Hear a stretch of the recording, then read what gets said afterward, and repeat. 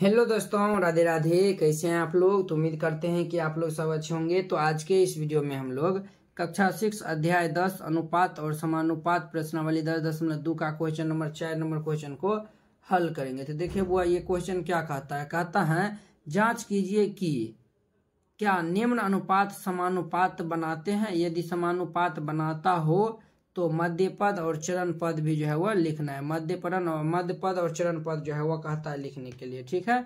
तो चलिए, हम जो है वह ए नंबर क्वेश्चन को हल कर लेते हैं। तो समानुपाती बनाता है तो देखिए पच्चीस सेंटीमीटर है और ये एक मीटर है। तो मीटर है तो पहले इसको जो है वो हम सेंटीमीटर में बदल लेंगे। देखिए बुआ, ये जो है वह एक मीटर बराबर जो है वह एक सौ सेमी होता है।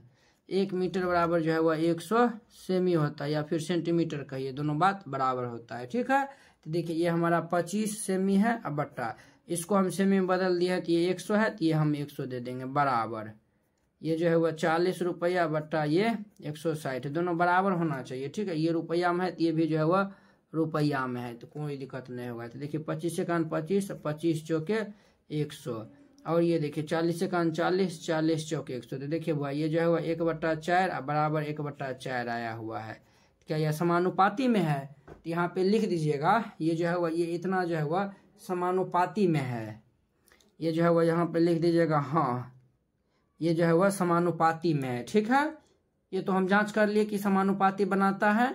अब जो है वह कहता है मध्य पद लिखने के लिए, और जो है, ये देखिए, कहता है मध्य पद लिखने के लिए, और जो है वह चरम पद कहता है, चरम पद कहता है लिखने के लिए। तो देखिए वह मध्य पद का रहा है।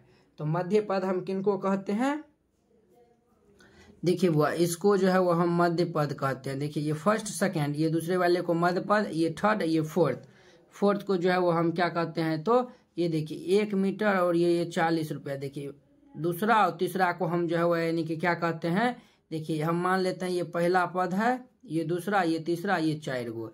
ए में चार गो टर्म रहता है समानुपाती चेक करने के लिए, चार गो टर्म रहता है ना, ए, एक, दो, तीन, चार। चार गो है तो ये देखिए, ये दोनों को जो है वो हम यानी कि क्या कहते हैं मध्य पद और ये दोनों को हम चरम पद कहते हैं। तो मध्य पद हमारा कितना है?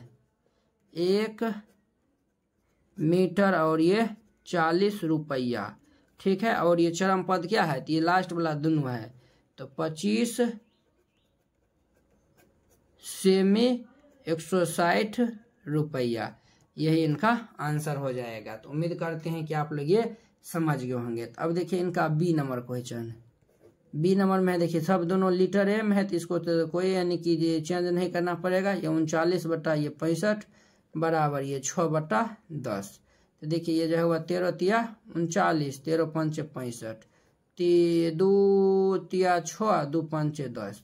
तो देखिए वह ये तीन बट्टा पाँच, और ये भी जो है वह तीन बट्टा पाँच है। दोनों क्या है? बराबर है। तो ये भी जो है वह समानुपाती में है। तो लिख दीजिए हाँ ये जो है वह समानुपाती में है। अब मध्य पद और ये जो है वह चरम पद लिखना है। तो यहाँ पे जो है वह लिख दीजिए मध्य पद मध्य पद। और जो है यहाँ पे लिख दीजिए चरम पद चरम पद। तो देखिए वो मध्य पद मध्य पद यानी कि ये दोनों को हम मध्य पद कहते हैं और ये लास्ट दोनों को चरम पद कहते हैं। तो मध्य पद हमारा है पैंसठ लीटर और ये छ बोतल है। चरम पद ये दोनों लास्ट वाला है। ये हमारा उनचालीस लीटर और ये दस बोतल है। ठीक है? इस तरीका से हमारा क्वेश्चन हल होता है। ये बी नंबर था सी नंबर देखिए। सब की ग्रे में है तो चेंज करने की कोई ज़रूरत नहीं है। ये जो है वो हमारा दो बट्टा अस्सी बराबर ये पच्चीस बट्टा छः सौ पच्चीस है। तो देखिए दो से काट देंगे तो चालीस। देखिए, पच्चीस से काट देंगे तो पच्चीस पच्चीस पच्चीस जो है वह, ये जो है वह, यानी कि ये जो है वह पच्चीस से काट देंगे तो ये एक सौ पच्चीस हो जाएगा। एक सौ पच्चीस हो जाएगा क्या? कितना हो जाएगा? पच्चीस, पच्चीसा कितना होता है? छः सौ पच्चीस होता है ना? पच्चीस, पच्चीसा ये जो है वह बीस बीस चार सौ हाँ छः सौ पच्चीस। ये हमारा पच्चीस ही होगा। क्या होगा हुआ तो पच्चीस होगा। तो देखिए, दो किग्रा अस्सी यानी कि दो किग्रा, अनुपात अस्सी किग्रा और जो हुआ पच्चीस ग्राम और ये छः सौ पच्चीस ग्राम। तो ये इनको काट दिए हैं तो देखिए, ये एक बट्टा चालीस आया हुआ है, बराबर ये एक बट्टा पच्चीस है। तो देखिए बुआ, ये जो है वो एक बट्टा चालीस और एक बट्टा पच्चीस है। ये दोनों जो है वह कहता है, जाँच कीजिए कि निम्न अनुपात समानुपात बनाते हैं। यदि समानुपात बनाते हैं तो देखिए, ये तो समानुपात बनाता ही नहीं है, क्योंकि ये दोनों बराबर है, नहीं है। ये जो है वो बराबर नहीं है, ये जो है वो नहीं यहाँ पे लिख दीजिएगा। ये दोनों की समानुपाती नहीं बनाता है। तो समानुपात नहीं बनाता है तो इसमें जो है वह ना ही मध्य पद होगा, ना ही चरम पद होगा। ठीक है बुआ? अब देखिए डी नंबर इनका। डी नंबर कहता है 200 मिलीलीटर। इसको जो है लीटर में तो 200 मिलीलीटर है ना तो इसको भी जो है हम लीटर में बदल देंगे। तो आपको जो है वो हम, इसमें हम समझाते हैं, देखिए चूँकि एक लीटर बराबर जो है वह एक हज़ार मिलीलीटर होता है। एक हज़ार मिलीलीटर होता है। तो देखिए, दो दशमलव पाँच लीटर बराबर क्या हो जाएगा? ये दो दशमलव पाँच गुने ये एक हज़ार। तो इसको हम गुना करेंगे तो ये पच्चीस पर जो है वह पच्चीस पर जो है वह एक दो तीन गो ज़ीरो हो जाएगा।